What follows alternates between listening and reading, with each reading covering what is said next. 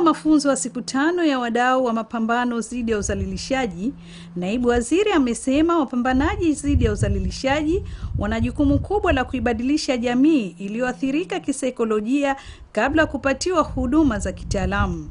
Mheshimiwa Rais wetu anakerwa sana na tabia hii iliyoibuka ya udhalilishaji, hivyo wananchi sote tunapaswa kumuunga mkono kwa kufuata nyayo zake, angalau kwa pamoja kuchukia jambo hili, kulikemea, pia kubuni mikakati ya kuzuia ili udhalilishaji huu usiendelee kukua katika nchi yetu.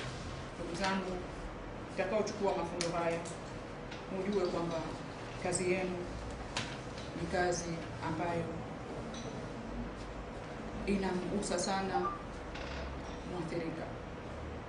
Kwa hiyo mtakapoifanya, na najua kwamba ndivyo mnavyoifanya, na naamini baada ya mafunzo haya mtaifanya kwa ubeledi zaidi, muifanye kwa huruma, kwa upendo na imani na unyenyekevu kwa wale ambao wameathirika.